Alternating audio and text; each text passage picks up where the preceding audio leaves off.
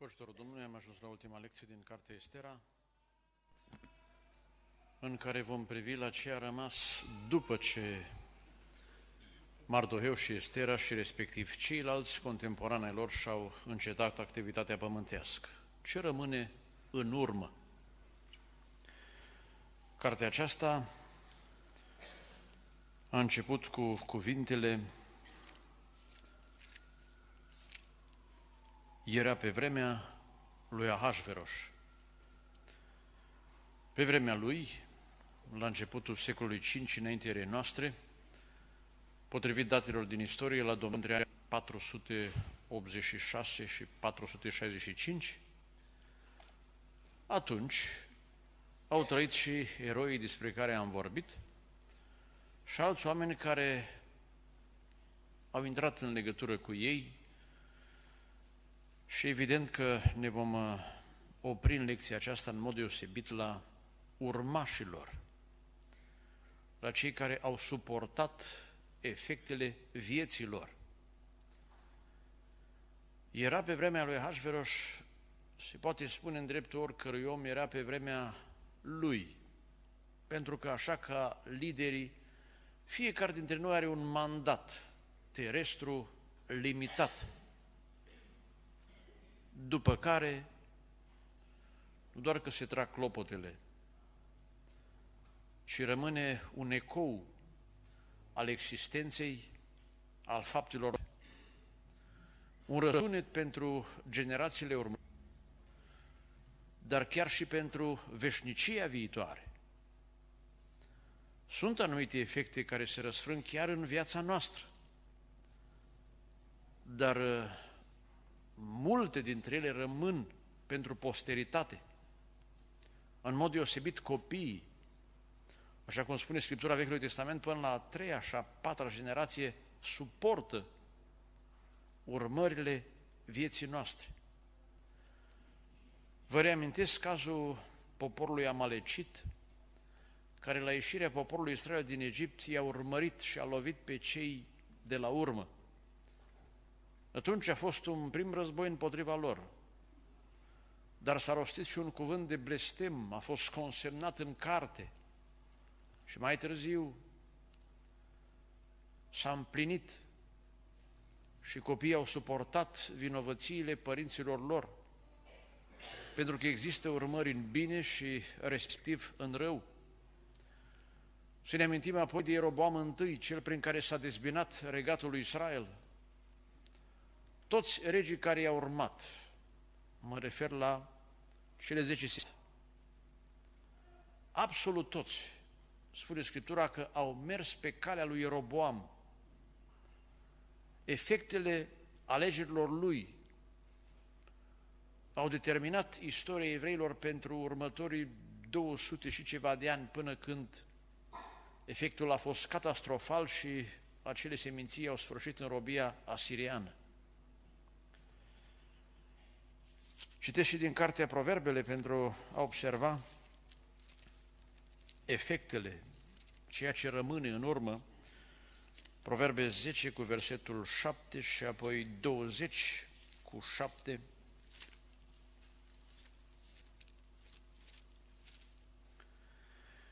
Pomenirea celui neprihănit este binecuvântată. În schimb, numele celor răi putrezește. Cei răi nu au viitor. Bun, evident. În 20 cu 7 citim și aceasta trebuie să ne dea de gândit atât în uh, activitățile și acțiunile noastre din familie, cât și în societate și, bineînțeles, la nivel de adunare. Cel neprihănit umblă neprihănirea lui, ferice de copiii lui după el. Și e normal ca un părinte să dorească fericirea copiilor săi. Depinde de viața sa. Nu va porta fiul nici neprihănirea, nici nelegirea tatălui. Fiecare decide pentru sine, dar urmările au un procent din întregul care se desfășoară în viața generației următoare. În acest context, întrebarea care trebuie să ne cerceteze în această seară e cum trăim nu a trăit toată viața ca să muncească. Și cineva a observat și a gândit că noi suntem chemați și trăim mai mult decât pentru a munci și a comentat spunând așa ceva ar fi normal să se scrie pe mormântul unui cal. Un om are o menire mai înaltă și la sfârșit se va vedea și nu se mai poate modifica nimic. Copiii sunt cei care suportă în primul rând urmările, apoi ceilalți din area de efect. De aceea să ne gândim la ei noștri și la alții pe care îi putem ajuta sau îi afectăm. În primul rând să urmărim istoric ceea ce s-a întâmplat după moartea personajelor din cartea Estera, mai întâi ce a rămas în urma lui Haman. Citim din cartea Estera, capitolul 7, versetul 10, momentul de după amiaza cele de-a doua zile de ospăți, și-a spânzurat pe Haman pe spânzurătoarea pe care o pregătise pentru Mardoheu. Capitolul 8 ne dovedește că imediat după moartea lui au urmat efectele asupra copiilor lui. În aceea zi, împăratul Ahasver a dat împărătese Estera casa lui Haman, vrășmașul iudeilor și Mardoheu au venit înaintea împăratului căci Estera arătase legătura de rodenie cu el. Și scrie aici, Estera de partea ei, versetul 2, partea a doua, a pus pe Mardoheu peste casa lui Haman. Iată cum copiii au suportat efectele atitudinii tatălui lor. În uh, capitolul 9 scrie de la versetul 6, în capitala a iudeii au ucis și au prăpădit 500 de oameni și au junghiat pe cei 10 fii a lui Haman, dar nu au pus mâna pe averile lor pentru că așa spunea decretul imperial. De ce au murit acești copii? Pentru că tata lor murise, dar nu doar pentru atât. Pentru că au suportat efectele vieții tatălui lor. Și când ne gândim la ce se aștepta Haman, și cu siguranță și copiii lui aveau aspirații asemănătoare. În dimineața acelea zile, citim din uh, capitolul 6, sau citim și din capitolul 5, ce a fost cu o seară mai înainte versetele 11 și 12. Haman le-a vorbit despre strălucirea bogăților lui, despre numărul fiilor săi, despre tot ce făcuse împăratul ca să ridice în vrednicie și despre locul pe care îl dăduse mai presus decât pe și slujitorii împăratului. Și a adăugat, eu când sunt chiar singurul care sunt poftit pe mâine. Dar el nu știa cu ce se va încheia acel mâine. Iată, cum vă spuneam, aspirațiile lui, capitolul 6, citim uh, versetul 8, Trebuie, a zis el, să-i se aducă haina împărătească, se gândea că e vorba de el, aceia care se îmbracă împăratul și calul, pe care clărește împăratul și să-i se pună cu una împărătească pe cap. Deci el s-a așteptat la mai mult. Cu o seară înainte a povestit cât are, dar în dimineața următoare voia să fie în ascensiune. Și toți urmașii lui a adus pierzarea neamului său, exact cum am citit în Proverbe 10. Le-a putrezit numele, a rămas fără urmași. Moartea lui prematură și rușinoasă n-a lăsat în urmă nici părere de rău. În comunitatea contemporană lor nu găsim uh, vreo atitudine a unora care să fi jelit pe Haman, poate vreunii din acoliții săi care aveau aceeași gândire. Dar s-a împlinit, apropo de Cartea Proverbe, ce scrie în capitolul 11, versetul 10. Pentru că la descoperirea planurilor lui Haman și pedepsirea lui erau două motive de împlinire în popor. Proverbe 11 cu 10. Când le merge bine celor neprihăniți, în cazul acesta, Mardoheu și Estera, toată cetatea se bucură. Și scris în Estera că toată capitala Susa se bucura și bucuria s-a răspândit în imperiu. Și ascultați partea a doua, reversul. Și când pierd cei răi, Haman și fiii lui, toți strigă de veselie. Așadar s-a bucurat poporul de două ori. Pentru biruința celor buni și pierderea celor răi. Am putea spune că în urma lui Haman a rămas moarte, dar n-a rămas părere de rău. Așa cum scrie la unul dintre împărații lui Iuda, care a fost extrem de rău, a murit el în dureri, dar fără părere de rău. De aceea să ne gândim cum învăța un tată pe fiul său să trăiește în așa fel, încât atunci când îți încheie activitatea, tu să nu plângi,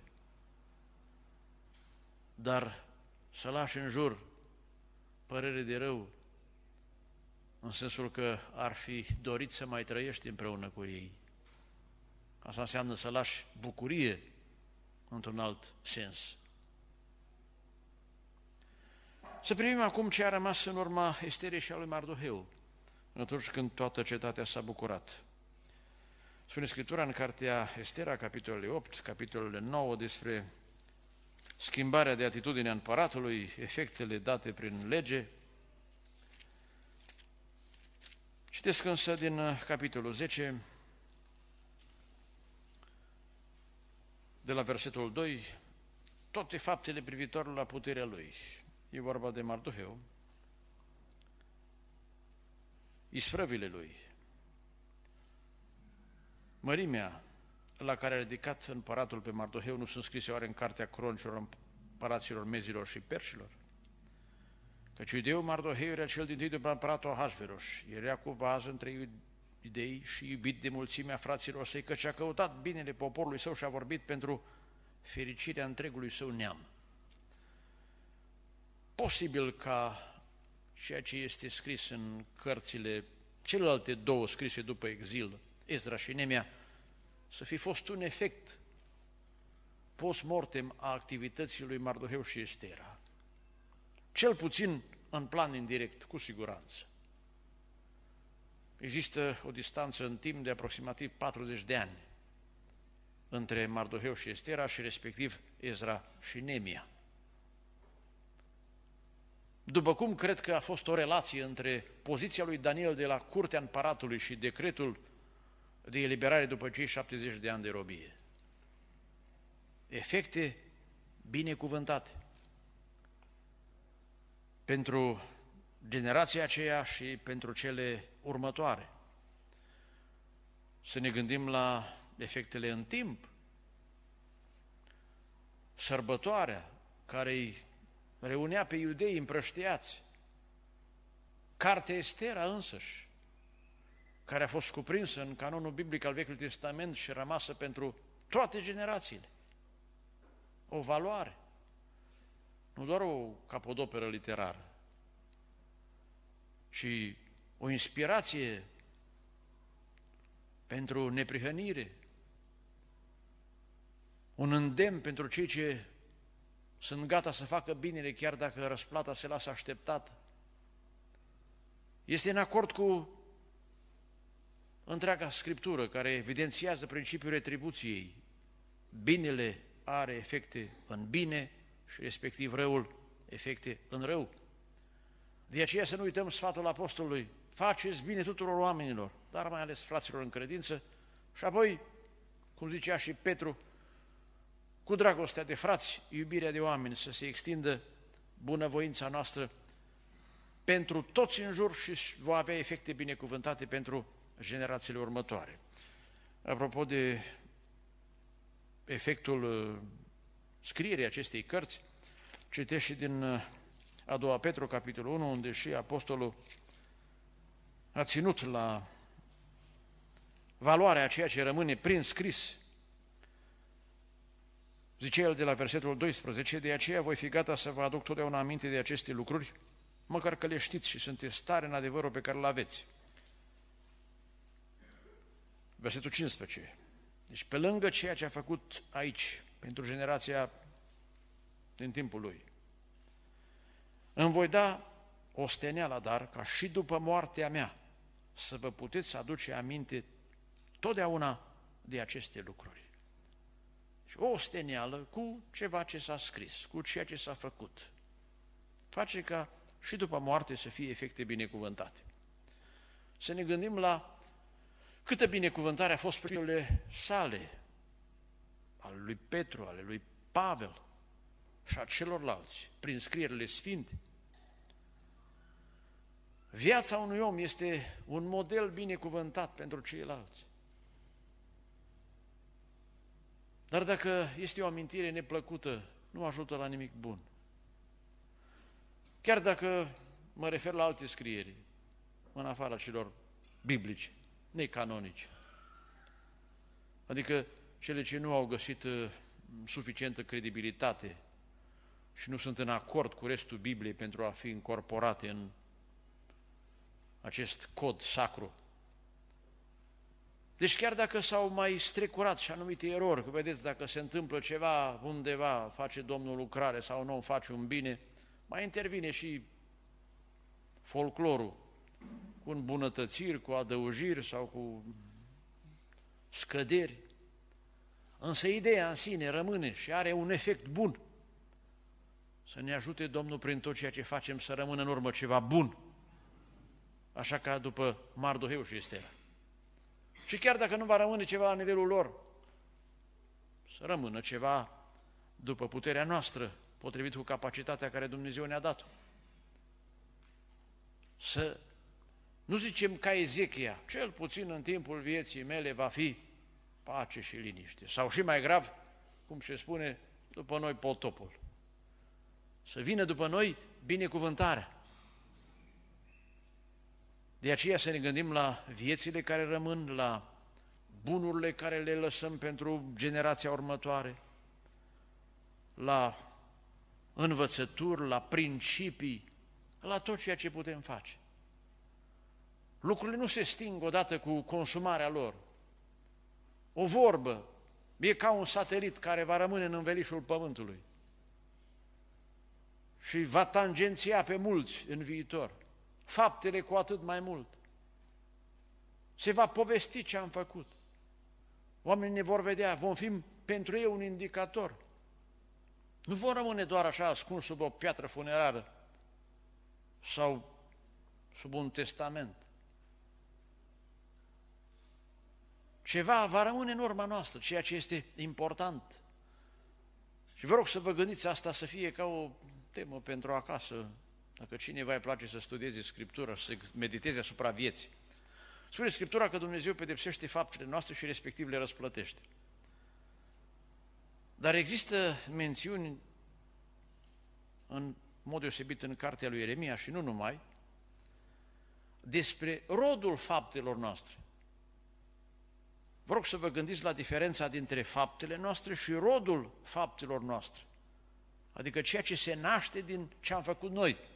Asta este ceea ce rămâne în urmă sau după noi. Dar să ne oprim acum în mod concret asupra lecțiilor trei pentru astăzi din ceea ce rămâne în urmă. Se spune că un copac poate fi cel mai bine măsurat după ce e tăiat. Până atunci ne dăm cu părerea că e mai înalt sau nu e chiar atât de înalt, că umbra e mișcătoare. La fel, omul când și-a încheiat și-a încetat activitatea, fie el bărbat sau femeie, Mardoheu sau Estera, poate fi evaluat în modul cel mai concret. Pentru că de acum nu mai intervin schimbări și de acum încep să se culeagă și efectele pentru posteritate. Așa cum spuneau, Mardoheu și Estera au avut efecte pentru generația următoare în bine, ceea ce este pentru noi un exemplu de urmat. Să luăm și un alt exemplu în dovedirea acestui adevăr din cartea lui Eremia, capitolul 35, gândindu-ne la recabiți.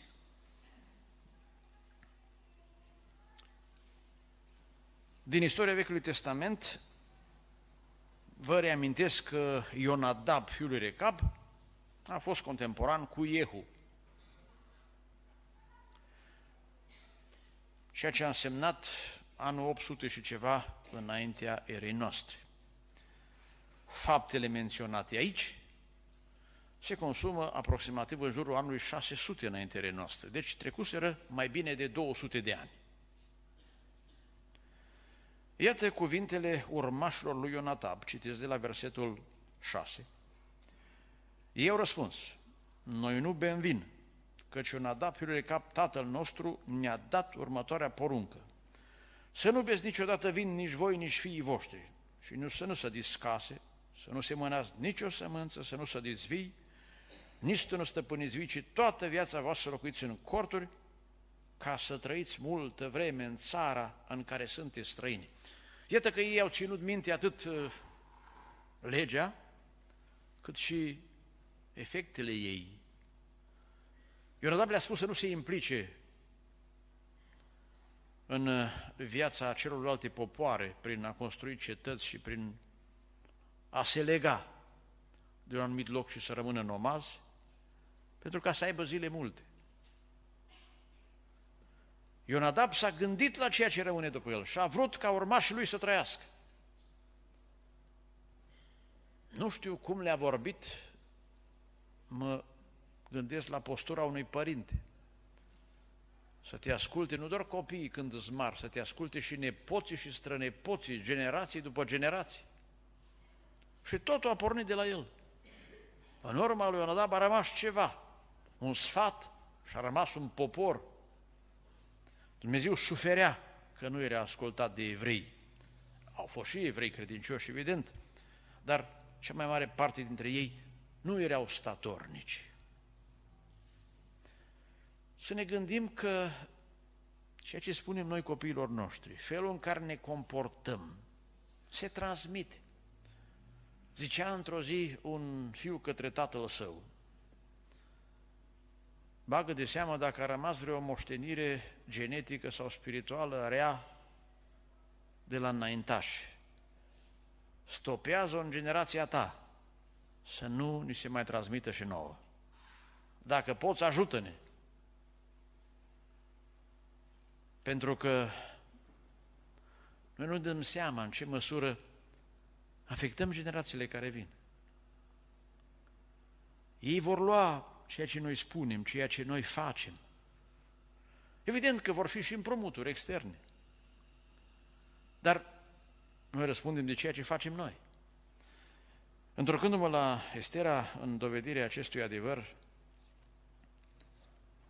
a măsurării unui om după ce a murit, a evidențierii valorii lui după ce nu mai este în viață, citim din Estera, capitolul 9, versetele 27 și 28,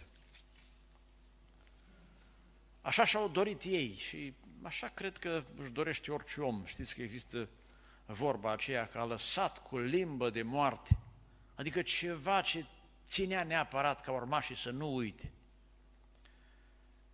Este era nouă cu 27 și 28. Iudeii au luat pentru ei, pentru sămânța lor și pentru ce toți și ce vor, se vor lipi de ei, hotărârea și îndatorirea neschimbăcioasă ca să prăsnuiască în fiecare an aceste două zile, în felul rânduit și la vremea hotărâtă. Zilele acestea trebuiau să fie pomenite și prăsnuite din neam în neam, în fiecare familie, în fiecare ținut și în fiecare cetate. Și zilele acestea purim nu trebuiau desfințate niciodată din mijlocul iudeilor, nici să se șteargă aducerea aminte de ele printre urmașii lor. Deci s-au gândit Mardoheu și Estera mult la urmașii lor. Și sărbătoarea a rămas până în ziua de astăzi. Frumoase exemple, Ionadab fiul Recab, Mardoheu, Estera. Lângă ei trebuie să fim și noi. Lista e lungă, după cum scrie în Evrei 11. Nu ajunge vremea să vorbim de toți. Dar fiecare, atunci când moare, lasă un testament în urmă, pe care îl poartă ceilalți. În al doilea rând, prin viața lui Mardoheu și respectiv Estera prin tot ceea ce ea a făcut, prin cuvintelor de pace și credincioșie, cum scrie aici în versetul 30, menționate în scrisorile lor, acești doi iudei din seminția lui Beniamin au fost folosiți de Dumnezeu în vremea lor într-un scop deosebit. O mică parte dintre evrei se întorsese în țară, restul rămăseseră împrăștiați în imperiu. Și Dumnezeu avea un plan cu poporul iudeu. Prin ei s-a întărit unitatea națională, a renăscut conștiința evreilor și potrivit cu planul care Dumnezeu îl avea, pentru că trebuia să se nască Mesia, poporul trebuia să fie adunat. Dacă Ioan Botezătorul a avut un ultim rol înainte de pregătirea venirii lui Mesia, în această pregătire, Mardoheu și Ester a avut și rolul lor. Și fără contribuția lor, rolul lui Ioan Botezătorul sau altora putea să fie mult îngreuiat. Mardoheu și Ester au fost o verigă într-un lanț. Mai târziu, Ezra și Nemia, o alta. Mai târziu, frații Macabei, Ioan Botezătorul, dar nu numai, unul ca Simeon, Ana. Toți aceștia, chiar dacă nu s-au înscris în linia genealogică a Domnului Iisus Hristos, ei au avut rolul lor în împlinirea planului Dumnezeu cu poporul Israel. Suntem noi conștienți că fiecare dintre noi are un rol în poporul lui Dumnezeu? Poate va spune cineva, eu nu sunt pastorul bisericii. Dar spuneți-mi și mie, dacă biserica n-ar avea membri, ce rol ar avea pastorul? Să spună cineva dintre coriști, eu nu sunt dirijor.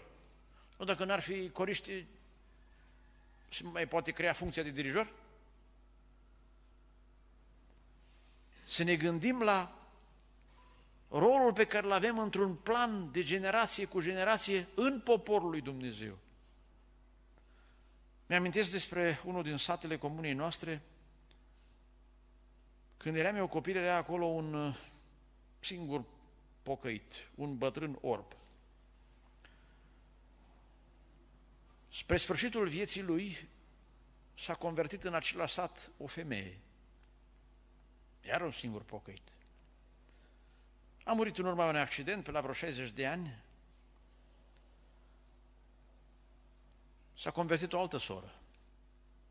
Sora aceea s-a mutat aici la Sânleani, după aceea s-a pocăit uh, soțul sorei care decedase.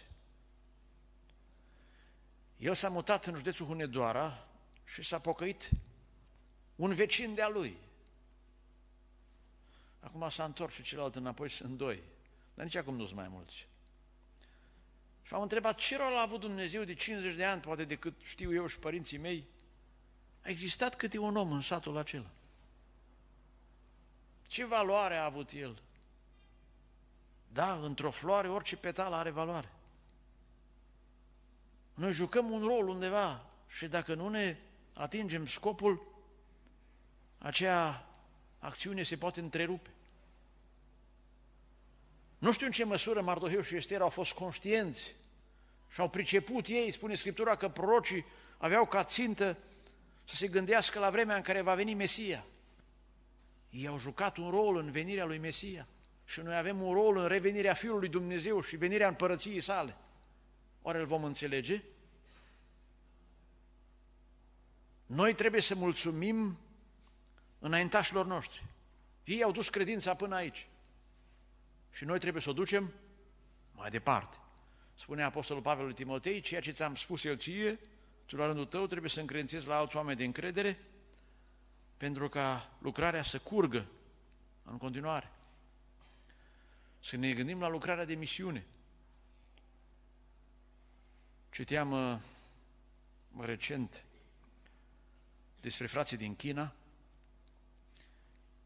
în jurul anilor 50, în secolul trecut, au avut un proiect intitulat Înapoi spre Ierusalim. Adică Evanghelia a pornit la Ierusalim în toate direcțiile și acum eu și-a dat seama că între China și Ierusalim sunt atâția oameni neevangelizați și ca atare nemântuiți. Însă proiectul lor a rămas în fașă, fiindcă au venit comuniștii, Revoluția lui Mao Zedong, Și unul dintre frații care a suferit a stat 31 de ani în închisoare, din 50 până în 81, a fost eliberat, între timp îi murise și soția, atât într-o colibă până au luat frații legătura cu el, dar l-a mai ținut Dumnezeu apoi până la vârsta de 80 și ceva de ani, deci 20 de ani după eliberarea din închisoare, și a ajuns undeva într-o adunare. Și a auzit pe niște frați mai tineri acum de când există mai multă libertate în China, cu același proiect, înapoi spre Ierusalim. Și au citit o declarație, angajament. A început să plângă, deși se zbătea inima, cum spunem noi. Și l-au întrebat ce s-a întâmplat. Ce voi știți cine a compus declarația asta? Asta e compusă de noi, în urmă cu 30 de ani. Și au trecut atâția ani în închisoare și ne gândeam că se va stinge.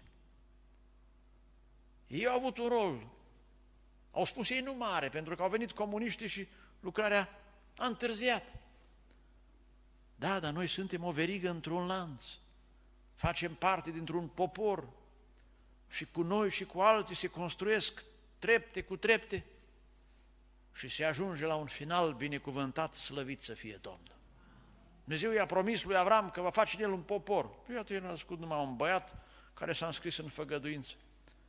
Isaac, la rândul lui, a avut doar pe Iacov în aceeași categorie și de-abia mai târziu, de la Israel se lățește neamul și apoi încă durează. Da, dar fiecare în această etapă a avut un rol.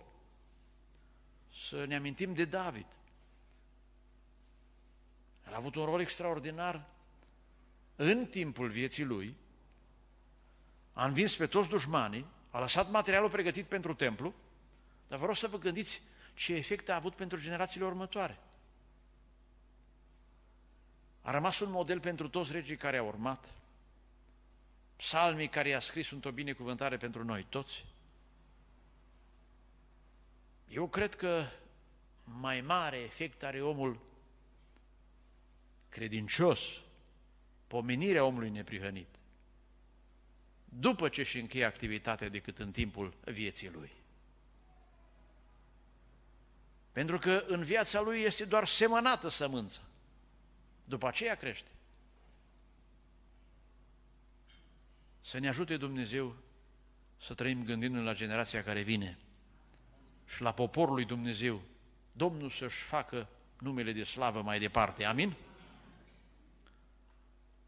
În al treilea rând, dacă atitudinea împărătesei Vasti, menționată în primul capitol, zicea unul dintre înțelepți că poate avea efect negativ în multe familii, cu siguranță, lecțiile din cartea Esterei au avut cel mai mare efect în cazul oamenilor care, lor, oamenilor care au trecut prin situații asemănătoare. Ei sunt un exemplu și pentru noi. Dar cred că pentru nimeni nu valorează atât de mult decât pentru oamenii care au suferit și un program, de exemplu. Pentru cei care au fost condamnați la moarte, care au avut de suportat încercări grele. Pentru că există un fel a nostru de a gândi și dacă cineva n-a fost într-o situație ca a noastră, chiar dacă nu i-o spunem în față, ne gândim, n-ai cum să mă înțelegi. Da, dar dacă treci prin situația asemănătoare, cu siguranță înțelegi mai bine și oamenii te vor înțelege mai bine. În ideea aceasta, citesc din um, Evrei capitolul 2 și capitolul 4, eu cred că printre altele Domnul Hristos a venit pe pământ nu doar ca să fie jertfa lui Dumnezeu, ci să fie un exemplu pentru noi în tot ceea ce ține de neprihănire, dar și în tot ceea ce ține de ispitiri și de probleme. Dacă Domnul Hristos ar fi trăit în niște condiții superioare, în bogăție, n-ar fi avut de superit, nu ne-am putea noi apropia cu atâta încredere de scaunul Harului. Dar care dintre noi nu se poate compara cu Domnul Isus? Un copil sărac dintr-o familie numeroasă, care n-avea unde și odihni capul, care trăia din ce ajutau niște femei, care a fost prigonit, până la urmă scuipat, bătut și răstignit. Iată că situațiile grele rămân pentru posteritate În mod deosebit pentru cei care trec prin situații dificile, prin situații comparabile. Citim din Evrei, capitolul 2, de la versetul 14. Astfel, dar, deoarece copiii sunt părtași sângelui și cărnii, tot așa și el însuși a fost deopotrivă părtaș la ele, pentru ca prin moarte să nimicească pe cel ce are puterea morții, adică pe diavolul, și să izbăvească pe toți aceia care prin frica morții le-au supus robiei toată viața lor. Căci negreșit, nu în ajutorul îngerilor vine el, ci în ajutorul seminției lui Avram. Prin urmare, a trebuit să se a fie asemenea fraților săi în toate lucrurile, ca să poată fi, în ce privește legăturile cu Dumnezeu, un mare preot milos și, rețineți, vrednic de încredere, ca să facă ispășire pentru păcatele norodului. Și prin faptul că el însuși a fost ispitit în ceea ce a suferit, poate să vină în ajutorul celor ce sunt ispitiți. Aceeași idee este prezentată și în capitolul 4, versetele 14 și 15, 16. Astfel, fiindcă avem un mare preot însemnat, care a străbătut cerurile, pe Iisus, Fiul lui Dumnezeu, să rămânem tare în mărturisirea noastră. Și acum a rămas Mardoheu și Estera. Căci nu avem un mare preot care să n-aibă mine de slăbiciunile noastre, ci unul care în toate lucrurile a fost ispitit ca și noi, dar fără păcat. Să ne apropiem, dar cu deplină încredere scaunul Harului, ca să căpătăm îndurare și să găsim har pentru ca să fim ajutați la vreme de nevoie. Cu exemplu de săvârșit al Domnului Isus și multe alte exemple de sfinți, noi primim curaj în situații asemănătoare.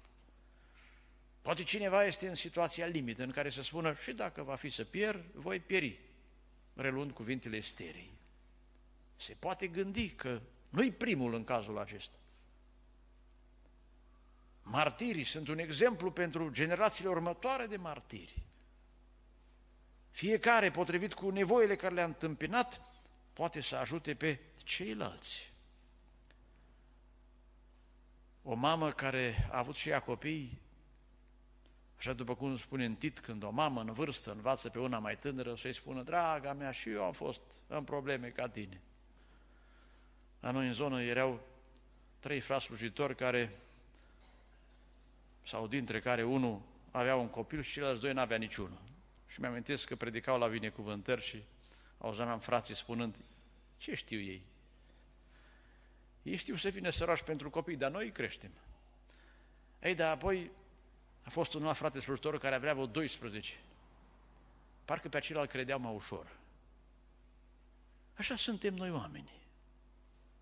Dacă știe limba noastră, ne înțelegem mai ușor cu el. Dacă nu, mi se pare că nu sunt termeni suficient de reprezentativ și de fideli în convertire, în, în traducerea dintr-un domeniu, dintr-o limbă într-alta. Există poezia aceea frumoasă când la judecată unul răspunde Eu am stat prea departe de adunare și este convocat împărăteasa din Seba. Altul spune, eu am fost om mare și cheamă Domnul la apel pe alții. Să vină Estera, tu ce ai fost, slujnică sau regină? Și altul și altul. Dumnezeu are martori. Și toți aceștia, acest, acest nor de martori care ne înconjoară, sunt cel mai aproape exemplu de cei care trec prin situații asemănătoare. Luați-vă din Biblie pe unul care e în situația dumneavoastră, sau nu niciunul? Căutați în istoria bisericii atunci. Ca să știți că avem frați gemeni. Și cu aceștia semănăm cel mai bine.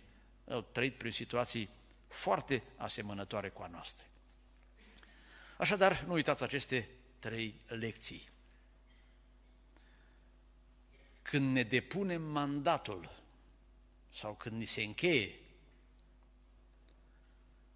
atunci este adevărata evaluare de acolo încolo se vede cât a valorat cineva, la ce a fost bun și cât durează rezultatele muncii sale.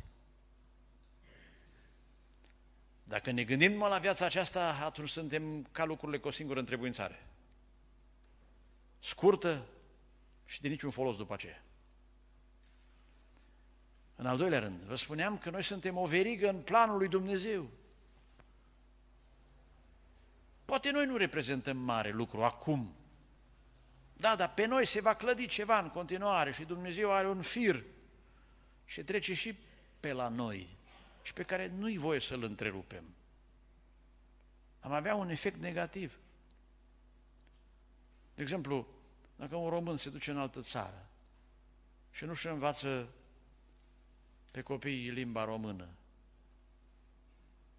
tot trecutul său s-a pierdut. El nu mai poate să aibă nicio relație înapoi cu poporul român. Ei, în cazul nostru nu e o mare problemă. Ei, dar în cazul evreilor a fost cu totul altceva.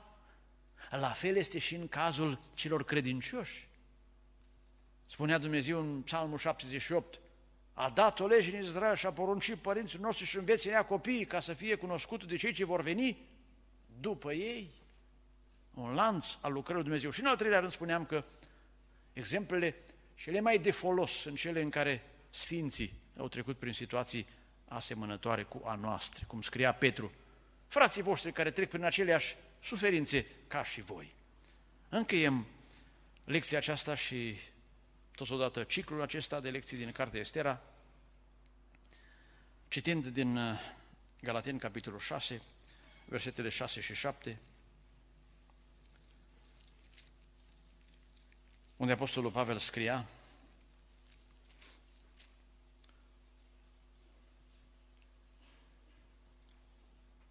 versetele 7 și 8, cu solemnitate, nu vă înșelați, Dumnezeu nu se lasă să fie batjocorit. Ce seamănă omul, aceea va și secera. Cine seamănă în firea lui pământească, va secera din firea pământească putrezirea. Dar cine seamănă în Duhul, va secera din Duhul viața veșnică.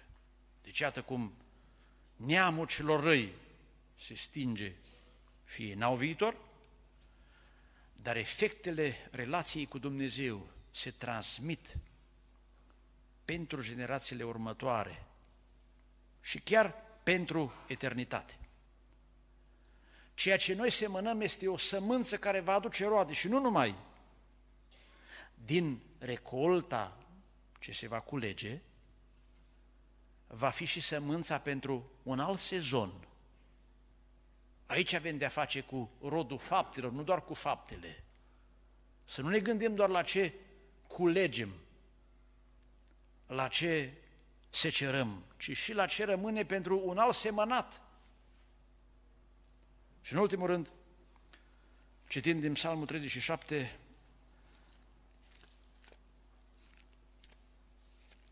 să ne gândim că sfinții, credincioșii, nu doar că lasă ceva în urma lor, de valoare, netrecător, ei însăși, fiecare,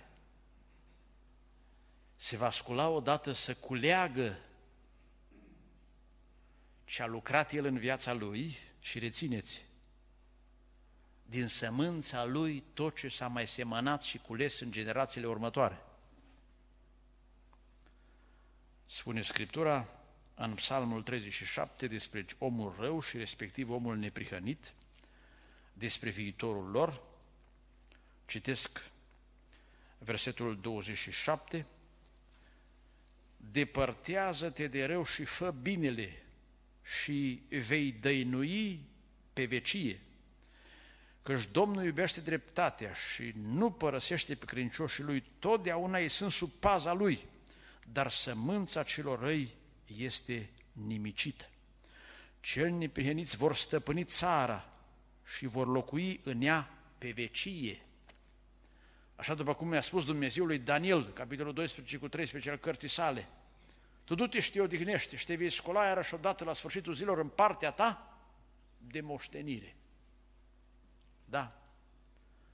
Daniel, repet, va avea de cules ce a muncit el și ce a mai rezultat în urma muncii lui în generațiile următoare. Doamne, ajută-ne să ne gândim în ansamblu veșniciei la activitatea noastră. Pentru că noi vom culege ceea ce am semănat. Și tot ceea ce a rămas și pentru alți ani de recolt. Așa după cum uh, Iosif a câștigat pentru faraon toată țara și a rămas din generație în generație să dea a cincea parte lui Faraon, de unde atâta câștig? Iosif și-a încetat activitatea. Dar venea în fiecare an 20% din recoltă la Faraon, de la rezultatul lui Iosif, de la ceea ce făcuse el cândva. Să ne ajute Domnul să facem binele și de rău să ne păzim cu toată inima. Povestea un bărbat amintindu-și cu durere de un fapt petrecut în urmă cu 50 de ani, când era copil. Zicea el, a trecut frontul prin zona noastră și era un indicator militar despre direcția pe care trebuia să se retragă trupele.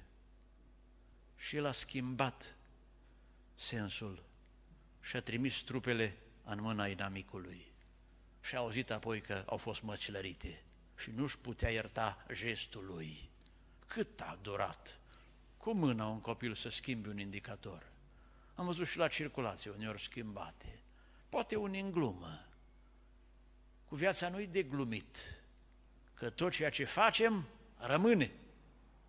Doamne, ajută-ne să trăim frumos. Acum nu știu cât mai ține lumea, poate suntem ultima generație,